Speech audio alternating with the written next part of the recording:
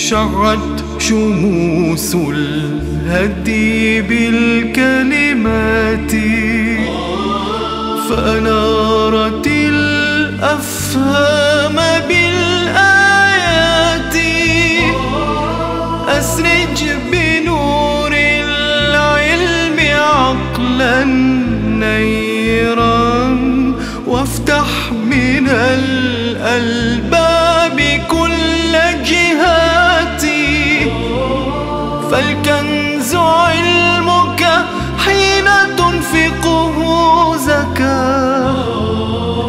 والمال لا يزكو بلا نفقات بين الظلام وبين نور مشرق.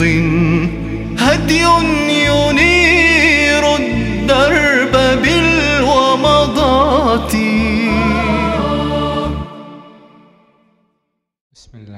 الرحمن الرحيم. الحمد لله رب العالمين. والصلاة والسلام على محمد وآله الطيبين الطاهرين.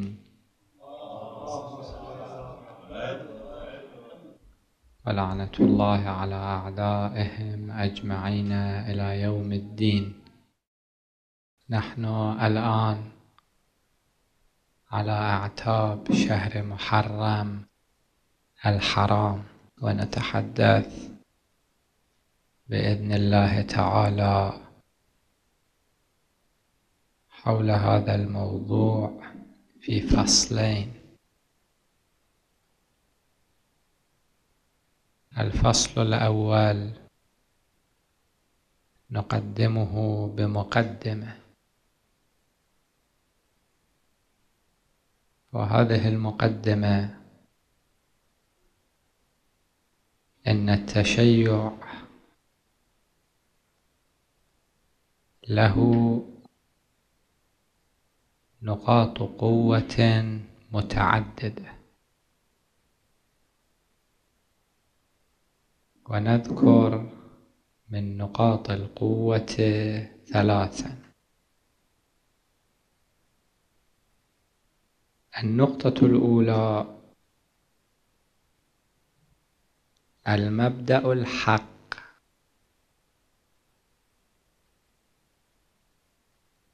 وقضية الحق قضية مهمة جدا في حياة البشر.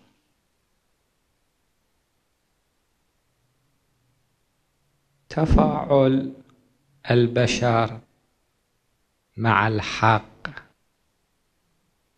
ومع الواقعية. يمكن أن يعود إلى أحد عاملين.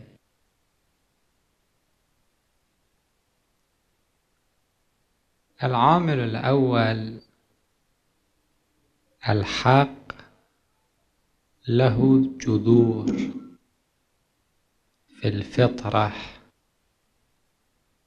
وفي الضمير وفي الوجدان.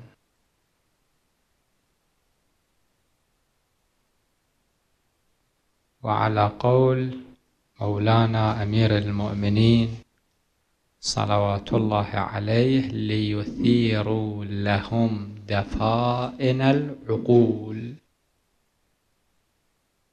شيء موجود في عمق الضمير.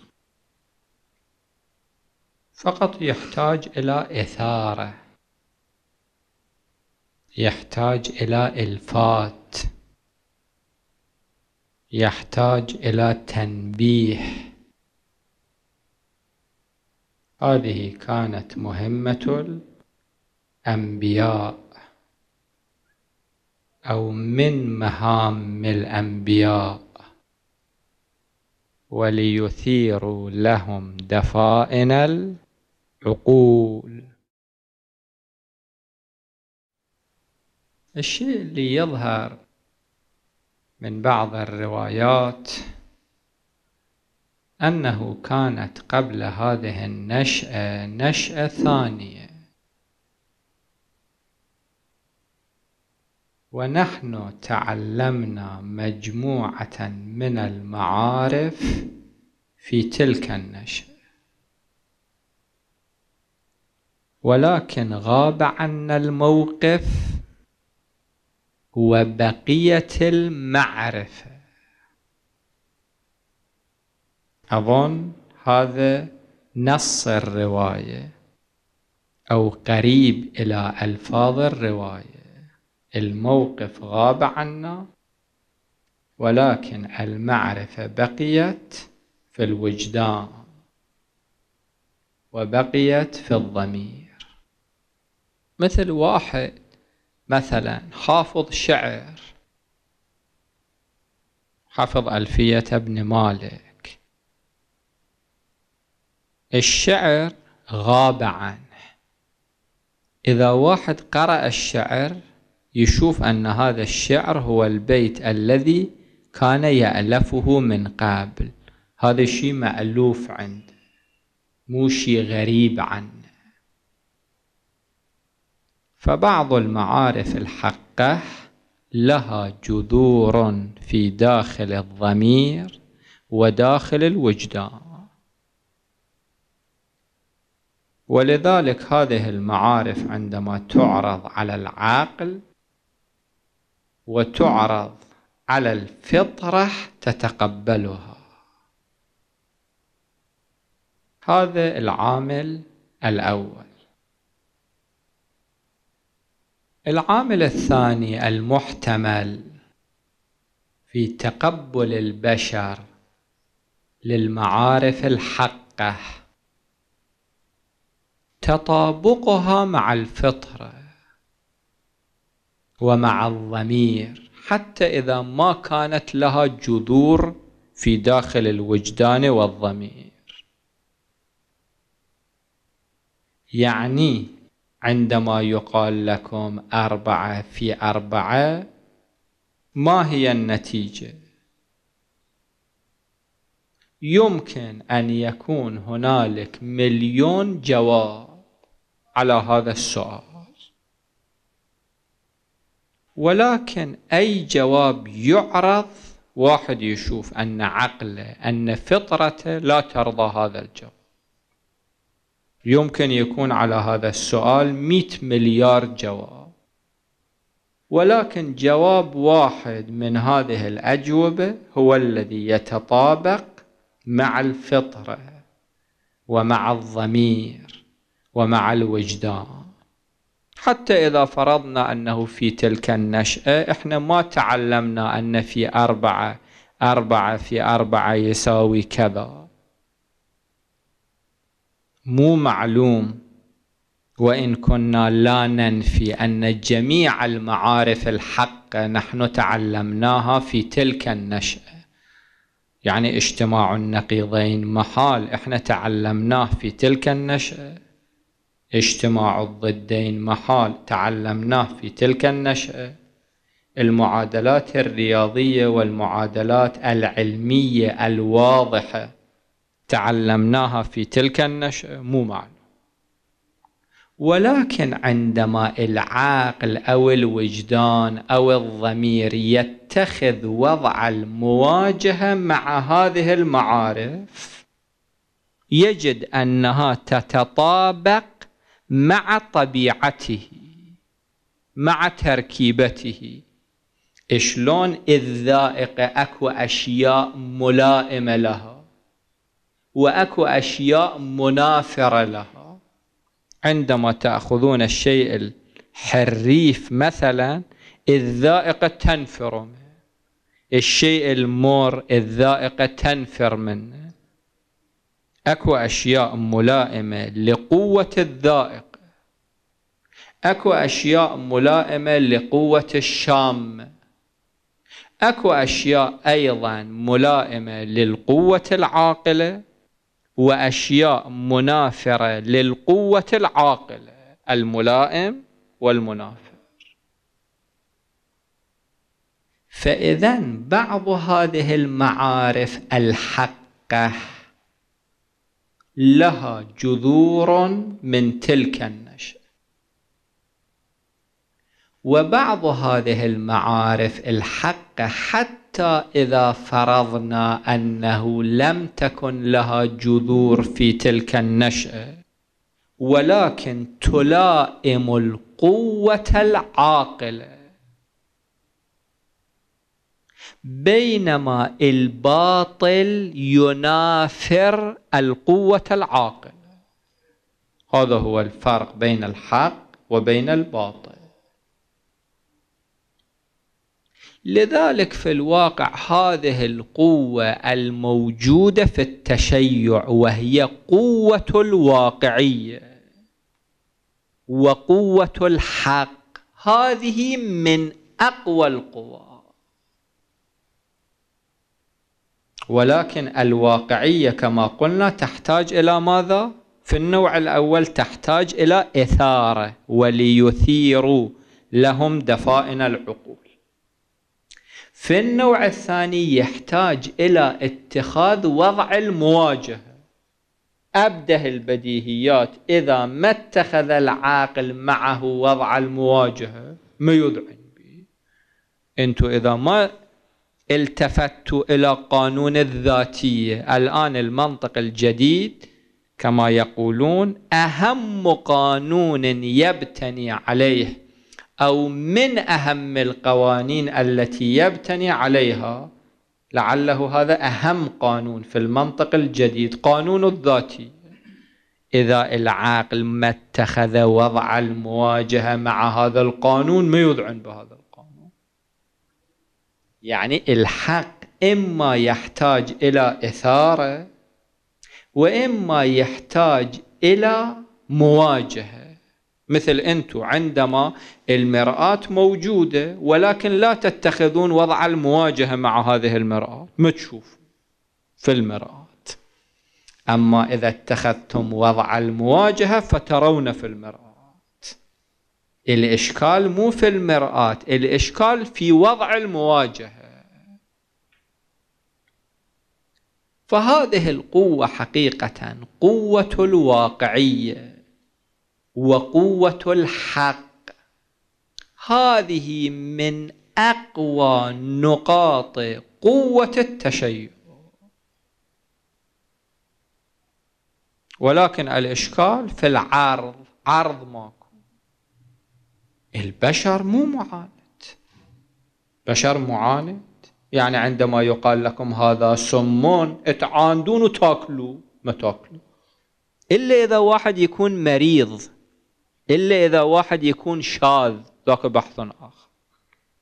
عندما يقال لكم هذا الطعام طعام نافع مقوي شنو تفعلون؟ تاكلوا. إلا إذا واحد يكون مريض. فالكلام قوة الحق هذه قوة مهمة.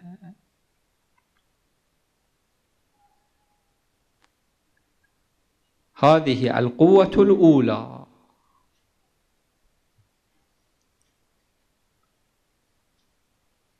القوة الثانية النقطة الأولى كانت المبدأ الحق. أو الواقعية أو الحقيقة. النقطة الثانية التاريخ المشرق. الآخرون لا يملكون تاريخا مشرقا. ليش؟ يملكون كثير منهم. ولكن بفوارق. الفارق الأول فارق كيفي. النبي صلى الله عليه وآله وأئمة أهل البيت صلوات الله عليهم أجمعين لا يقارن بهم أحد. هذا واضح. المسيح أيضا له تاريخ مشرق لا إشكال في ذلك. ولكن لا يقارن هذا التاريخ بذاك التاريخ. اولا أكو هنالك فارق كيفي. وثانيا اكو هنالك فارق كمي. في الكم أيضا اكو هنالك فارق. المسيحيين كم واحد عندهم؟ وفرض 12 واحد عندهم. كم واحد؟ حواري المسيح الذين يعتزون بهم. كم واحد؟ 12 14 مثلا. بينما إحنا في تاريخنا المئات والألوف من النماذج المشرقة. أئمة أهل البيت النبي الأعظم حواري كل واحد واحد منهم. تاريخ جدا مهم. الوالد رحمه الله كان ينقل هذه القضية كان يقول أن الإمام أمير المؤمنين صلوات الله عليه عين واليا فإجوا المولى عليهم أهل تلك المنطقة. فالإمام مضمون القضية سألهم أنه شنو هذا الوالي شنو رأيكم فيه؟ قالوا جيد ولكن أكو عليه مؤاخذة واحدة وهو أنه في كل أسبوع صلاة واحدة ما يجي للجماعة يعني. فالإمام قال له ليش ما تجي؟ قال في الواقع أنا ما عندي إلا ثوب واحد فأغسله لذلك ما أتمكن أحد. حقيقة والي يكون هالشكل هذا في عالم اليوم يعد من الخرافات القضايا اللي تنقل عن سلمان. هذه في عالم اليوم تعد شبيه الخرافات. وهكذا حواري الأئمة وأتباعهم والعلماء. هذا التاريخ جدا مهم. هذا الفارق الثاني. الفارق الثالث أن عدسة التاريخ ما صورت أحوال أولئك بشكل كافي. المسيح شنو أكو عنه؟ أشياء قليلة أكو. بينما أئمتنا صلوات الله عليهم والنبي الأعظم وحواريوهم ولو التاريخ ما أنصفهم كما ينبغي ولكن سجل دقائق كثيرة من أحواله. الوالد رحمه الله كان يقول حتى التاريخ كتب أن الإمام الحسين صلوات الله عليه عندما علي الأكبر ذهب إليه إلى الميدان كيف نظر إليه؟ خطباء يقرون. فنظر إليه نظر آيس من حتى نوعية النظرة مكتوبة ولو كثير من الأشياء مو مكتوب ولكن المكتوب كثير. هذا التاريخ المشرق حقيقة.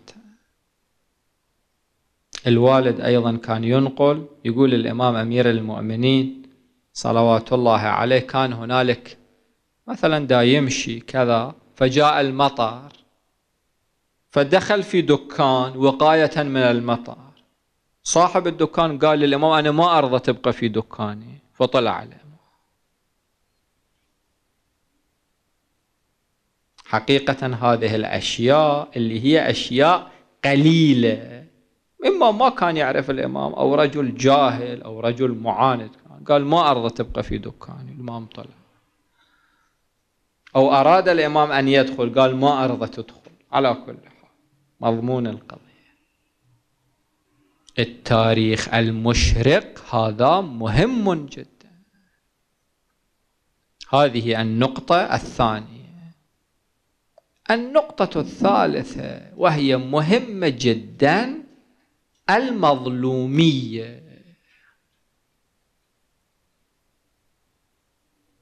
المظلومية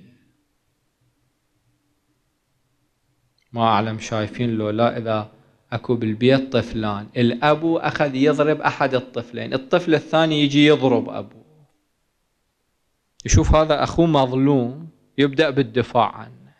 حتى الطفل يفهم أنه يجب أن يدافع عن المظلوم. ما أدري شايفين لو ما شايفين. إذا طلعت برا شفت أن امرأة واقفة دا تبكي. قلبكم ينعصر. مظلومية تؤثر شيء طبيعي. هذه النقاط الثلاث. المبدأ الحق. التاريخ المشرق.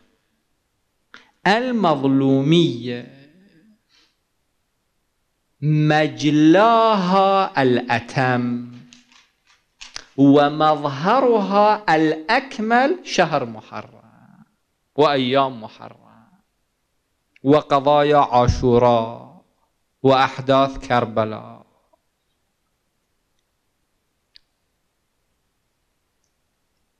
ينقل أنه كان في العراق واحد معروف وحتى هذا الكتاب المكتوب الذي كتبه أحد دكاترة الكويت دور الشيعة عنده كتاب يذكر حول هذا الرجل. عالم كبير يذكر تفاصيله في ذاك الكتاب أو إجماله. هذا فكر أنه العشائر هذه بعيدة عن أهل البيت. إحنا التشيع ورثناه غنيمة هينة. ولكن من نعلم أن آبائنا أن أجدادنا أي متاعب تحملوها في هذا الطريق. إيش قد قتلوا منه هذا في التاريخ موجود. أن فلانا قال أنه أي بلد أبعد البلاد عن أهل البيت. أذكر في التاريخ. قال له فلان بلد. قال أنا أروح إلى ذلك البلد. في ذاك البلد أنشر فضائل أهل البيت. مثل الآن إحنا نفكر أي بلد أبعد البلاد عن أهل البيت مثلا نجد مثلا. واحد يترك وطنه يروح إلى نجد راح هناك وأخذ يعمل. كان في ذاك البلد أفراد بعداء عن أهل البيت خوارج كانوا أكو. وشكل جماعة أيضا. بعدين افتهموا بي. افتهموا أن هذا وراء القضية. فيوم من الأيام هو وجماعته كانوا في المسجد فجاءوا وهدموا عليهم المسجد وقتلوهم جميعا. هالشكل كانوا يعمل فهذا العالم فكر أنه يذهب إلى العشائر في العراق ليعرفهم على مبدأ أهل البيت. من الأشياء المؤثرة جدا في العشائر قضايا البطولة والمظلومية. معا. بطولة جدا مهم. البطل. قضايا أبي الفاضل مثلا. جدا مؤثره قضايا علي الأكبر. جدا مؤثر. فكان يروح ويذكر لهم البطولة من جانب اللي هذا داخل ضمن التاريخ المشرق. وهم المظلومية من جانب آخر. معروف الرجل. هذا أظن على ما في بالي تمكن أن يهدي مئة ألف واحد من أبناء العشائر في العراق. والآن كثير من العشائر التي ترونها مهتدية على أثر جهود ذاك العالم. ما أدري قبل 120 عام كان 200 عام هالحدود كان؟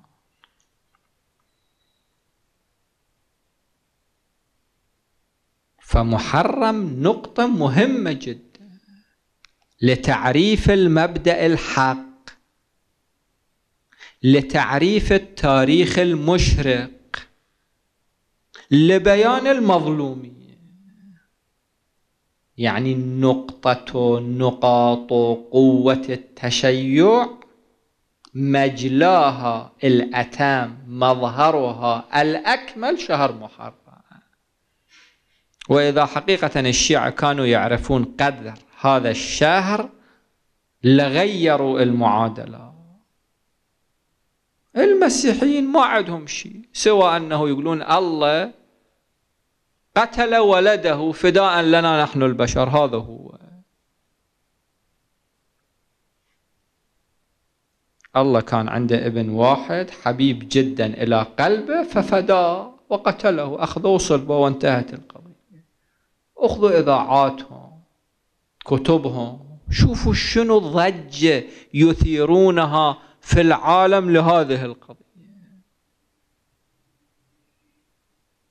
نقل لي في إحدى البلاد اللاهور ما أدري وين في مقابل عشرة محرم أخذوا عشرة الفاروق على هذا المنهج يعني يقرون قراية وإماماه مثلا. بعدين شافوا فشل فتركوه. شنو يقولون فوق المنبر؟ فالحقيقة هذه النقاط جدا مهمة. نقل لي أحد الإخوة كان صحفي في الكويت. تفصيل القضية كان ينقلها. الآن موجود هذا الصحفي في النرويج. قال أنه في قضية مطولة عندما كان في الكويت. قال دعيت إلى فلان بلد لفلان قضية. وكان المفروض أن نعبر عبر جبال هملايا من هذا الجانب إلى ذاك الجانب. يقول كنا نعبر بالسيارة طبعا مع مرافق. فشفت في بعض قمم جبال هملايا مو قمة القمة لا يعني في القمم. شفت هنالك سواد. تعجبت. إنه هذا السواد شنو؟ فقلت للمرافق هذا شنو؟ قال ما أدري. قلت خلينا نروح نشوف شنو هو. يقول رحنا فتحنا الباب وإذا بها حسينية. فيقول فأخذتني العبره وقلت توجهت إلى الإمام الحسين صلوات الله عليه وقلت له تقتل في صحراء كربلاء وينصب لك علم فوق جبال هملايا. حقيقة قوة. وأكو قضية أخرى في القطب الشمالي أو الجنوبي أحد الإخوة كان ينقل تفصيلها أيضا أنه كانت هنالك حسينية في القطب الشمالي في تفصيل أو الجنوبي. يعني حقيقة هذا علم وهذا اللواء يمكن أن يرفع في كل مكان. ننتقل إلى الفصل الثاني. ماذا نعمل؟ أربعة أشياء باختصار. الشيء الأول أن ننخرط جميعا في سلك الخطباء. إما الخطابة بالمعنى التقليدي أو إذا واحد ما يتمكن أو لا يرى ذلك. الخطابة بالمعنى الأعام حقيقة هذا توفيق أنه واحد يكون خادم بشكل من أشكال الخدمة لسيد الشهداء. صلوات الله عليه. الجد كان عنده أخو يقال له السيد جعفر. رحمة الله عليهم جميعا. يعني عم الوالد. هاي القضية أكثر تفصيلا مما أنقله الآن. ولكن ما كان عندي الكتاب اللي ينقل تفصيل القضية. في يوم من الأيام السيد جعفر ينقل على السيد عبد الهادي الشيرازي رحمة الله عليه. السيد عبد الهادي يقول له يا سيد جعفر اقرأ لنا إقراية حسينية. فيقول أنا مو خطيب ما كان خطيب هو. يقول في الواقع أنا البارحة رأيت في المنام سيد الشهداء. صلوات الله عليه. وبجانبه علي الأكبر. وبيدهم ديوان الخطباء. الإمام أمر علي الأكبر أن يمحو اسم خطيب من الخطباء فمحاه أحيانا واحد يسلب منا التوفيق. واحد يجب أن يواظب أن لا يسلب منه التوفيق. ولم ينقل أنه منو كان هذا الخطيب؟ محي. وقال الإمام ثب مكان اسم السيد جعفر. فأنا عرفت أنت دخلت في ديوان الخطباء. فبكى السيد جعفر. وقال أنا مو خطيب. ولكن البارحة أخذت كتاب من كتب المقاتل وجمعت أهلي وعائلتي وقرأت لهم من المقتل. فورا سجل في ديوان الخطباء وخدام أبي عبد الله. وظل السيد جعفر إلى آخر حياته. يقرأ مو قراية عامة كخطاب لا في بيته في كذا. وتوفي في عام 1370 وهو الآن مدفون في الري في طهران. يعني الآن كم مضى على وفاته؟ 52 عام تقريبا مضى على وفاته. واحد ينتهي هي هاي الأشياء تبقى. السيد عبد الله السيد الشبر اللي كان في الكويت رحمة الله عليه سيد علي الشبر. على ما في بالي في أيام عاشوراء كان ياخذ كتاب لعله كان كتاب جلاء العيون لجده سيد عبد الله الشبار ويقرأه فوق المنبر مع أنه ما كان خطيبا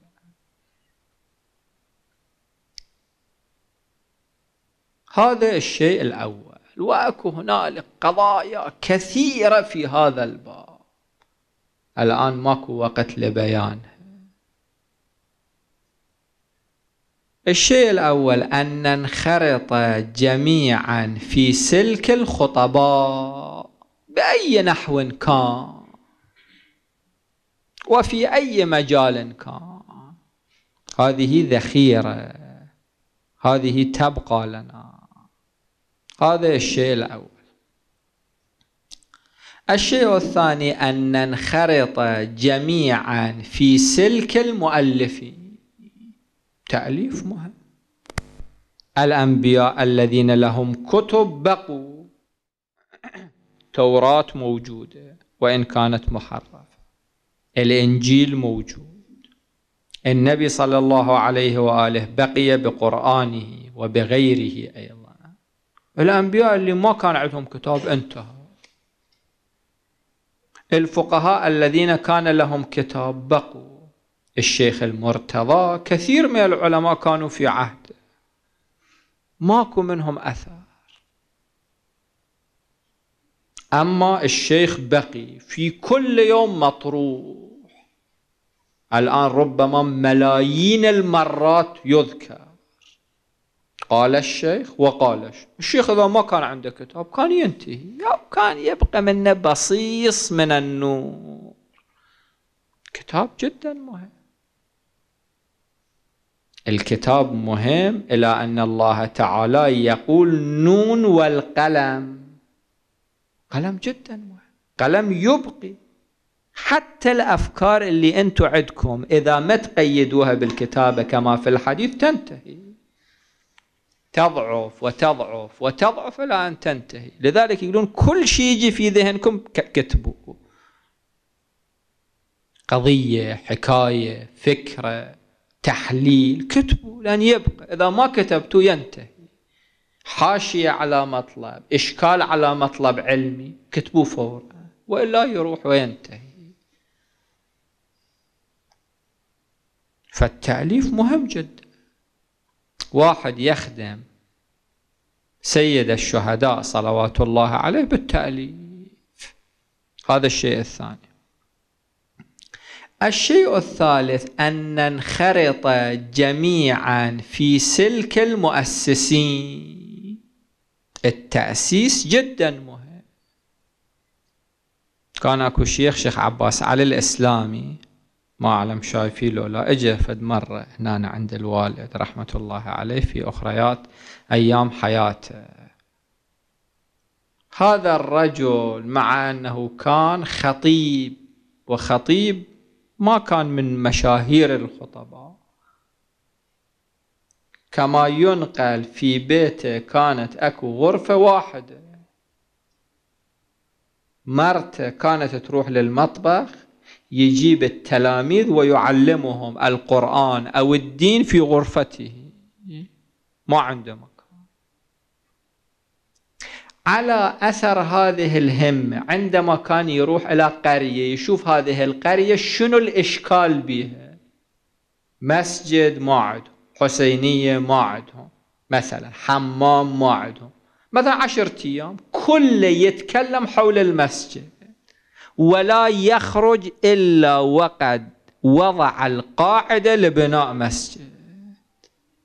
ينقل أنه في حياته بنى 300 مشروع خيري. واحد يتمكن. إذا واحد يدخل في خط الله يمده. إذا دخلت في خط الفقه بالنتيجة تكونون فقهاء. إذا دخلت في خط المنطق بالنتيجة تكونون منطقيين. المهم واحد يدخل في خط الشيء إذا واحد دخل في خط التأسيس بالنتيجة يكون مؤسسا. التوجه جدا مهم. واحد ليه يقول أنا ما أقدر أنا ما عندي وقت. الكلام مو في الوقت في التوجه. هذا الشيء الثالث. الشيء الرابع الذي يحتاج إلى بحث آخر التشويق العام.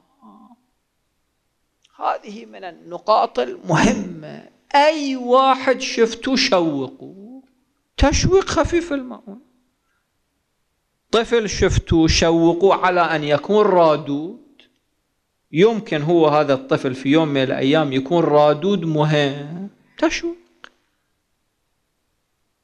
شفتوا واحد شوقوا على أن يخلي في بيته قراية. إذا بدأتوا بمنهج التشويق يمكن في خلال حياتكم تشوقون مئات الألوف من الأفراد مباشرة أو بشكل غير مباشر لأعمال الخير تشويق. مقابل التثبيط. أكو بعض الأفراد عندهم حالة التثبيط. لا ما يفي منو يقرأ؟ منو يطالع؟ أكو بعض الأفراد بالعكس.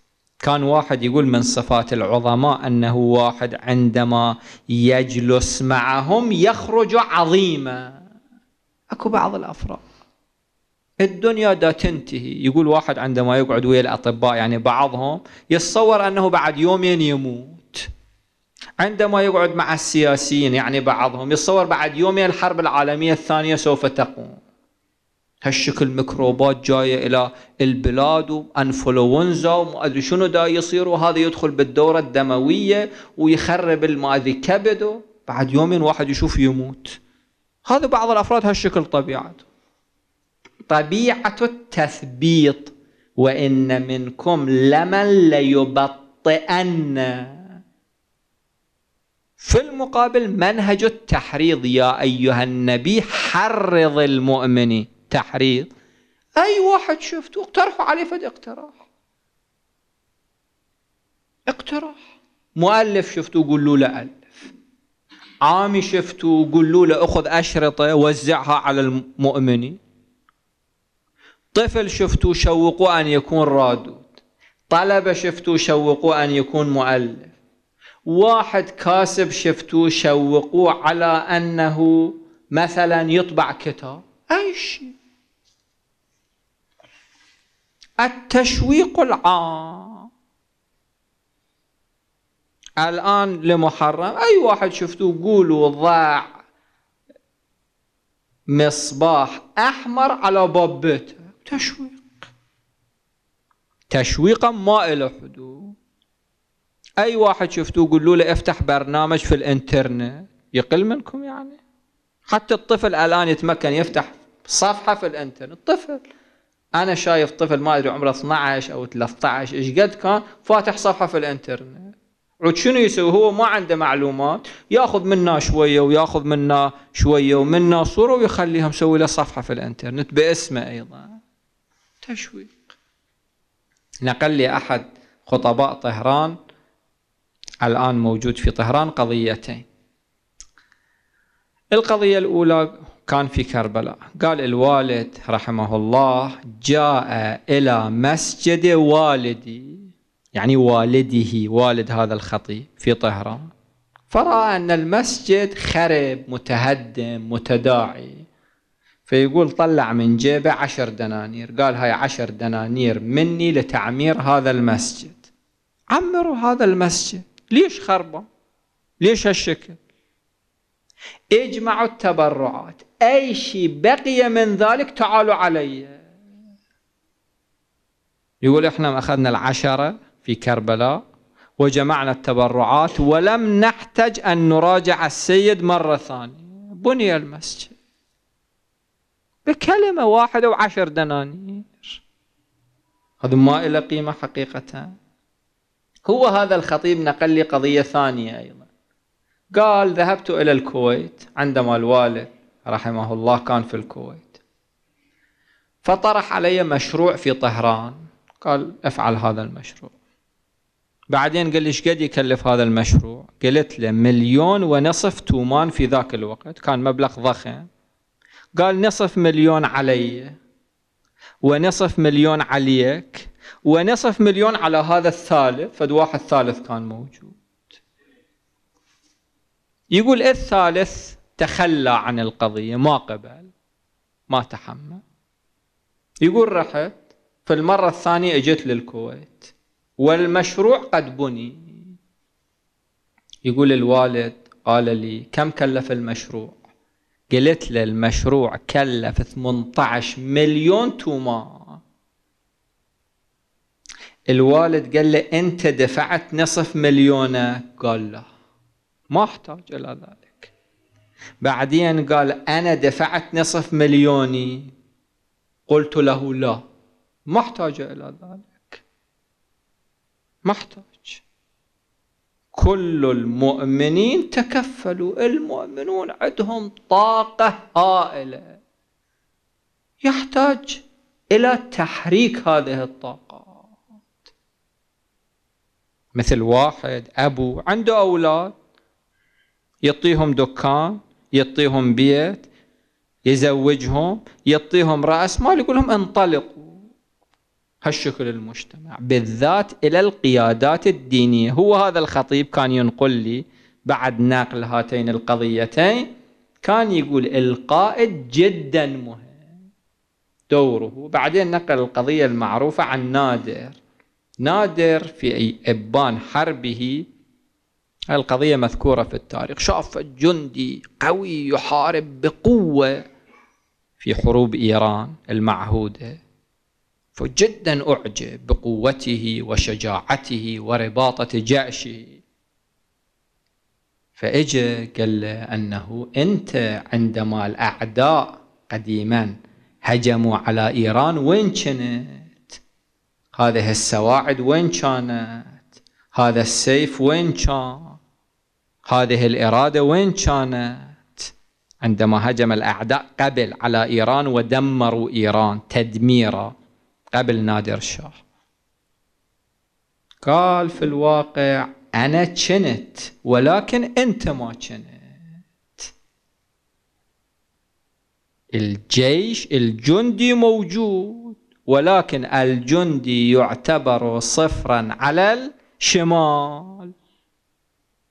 يحتاج شنو؟ نخلي وراه رقم فيجد قيمته.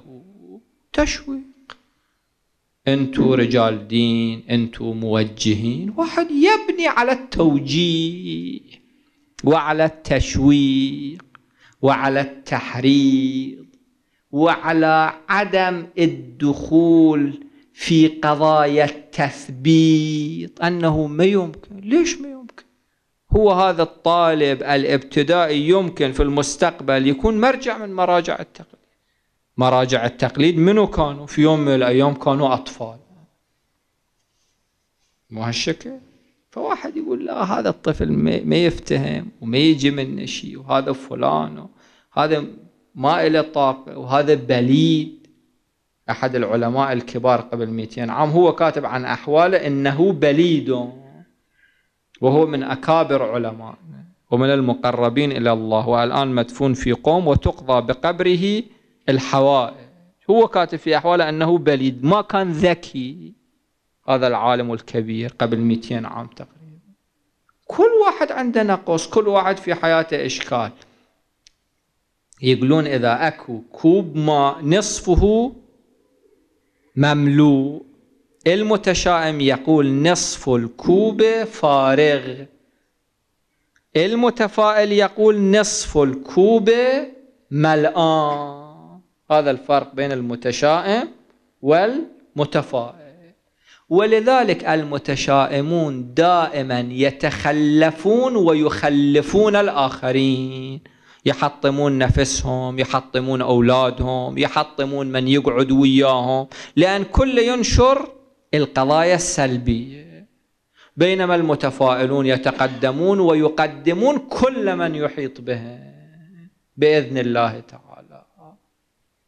فالنقطة الرابعة لمحرم بالذات التشويق العام. المصابيح الكهربائية الحمراء. أي واحد شوفوا شوقوا تأليف الكتب. أي واحد شفتوا شوقوا ولو كان بقالا. حتى البقال يألف. بقال ما يتمكن يألف. ليش يتمكن يألف؟ حتى الأميين يتمكنون يألفون. وأكو قضايا الآن لا نريد أن نخوض فيها في هذا الجانب. أمي يألف. ممكن. أي واحد شفتوه شوقوه على أن يخلي قراية في بيته؟ أنتوا تشوقون؟ عشرة آلاف واحد. ألف واحد منهم يخلون. القراية في البيت. القراية في البيت جدا مهمة لأنها تتحول إلى مؤسسة اجتماعية. لا تشوفون أنها قراية. القراية في البيت تتحول إلى مؤسسة اجتماعية فاعلة في المجتمع وتقوم بما لا تقوم به المؤسسات الكبيرة. لأن المؤسسات الكبيرة عندها إشكالات معوقات. المؤسسات الصغيرة ما عندها هذه الإشكالات. المؤسسات الكبيرة يمكن الاستيلاء عليها والقبض عليها. المؤسسات الصغيرة لا يمكن في هذا. وتقوم بما لا يقوم به المؤسسات الكبيرة. نسأل الله سبحانه وتعالى أن يوفقنا لذلك. وصلى الله على محمد وآله الطاهرين. شعت شموس الهدي بالكلمات فأنارت الأفهام بالآيات. أسرج بنور العلم عقلا نيرا وافتح من الألباب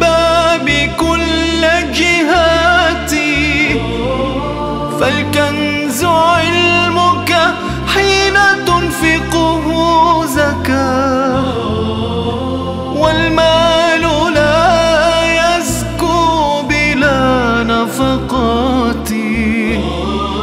بين الظلام وبين نور مشرق. هدي